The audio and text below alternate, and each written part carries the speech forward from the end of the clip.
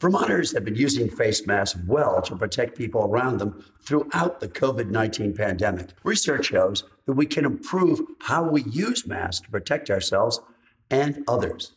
The main reason we've been wearing face masks is to prevent the virus from reaching someone else.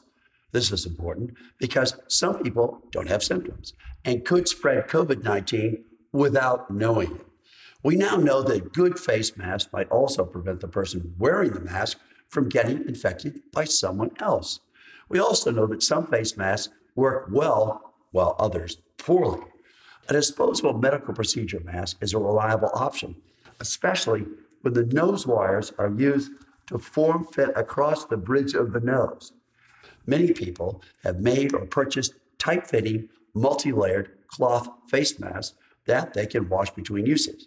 But make sure your single layer face mask doesn't look like this gaiter. And avoid any masks that do not fit closely to your face or cover your nose and mouth all the time. Recent studies have shown masks can be even more protective when they are tight fitting or when you wear more than one. The Centers for Disease Control and Prevention reported that experiments with these masks not only prevented the simulated wearer from spreading infection, but also protected the simulated wearer from infection by other people too.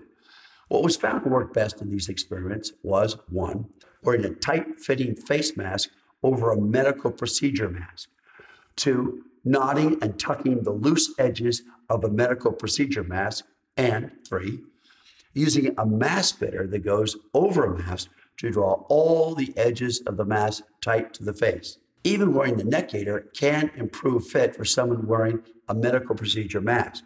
Remember, the CDC experiments are done in ideal conditions, and only a few medical procedure masks and face coverings were tested. Do you need to wear a mask after two doses of the vaccine? The CDC says yes, as they learn more about how COVID 19 vaccines work in real world conditions. We don't know yet whether getting a COVID 19 vaccine will prevent you from spreading the virus that causes COVID 19 to other people, even if you don't get sick yourself. The CDC will continue to update this guidance as they learn more. Still, the studies show that these techniques can better limit the spread of the virus that causes COVID 19 to other people, and it might protect you better from infection as well.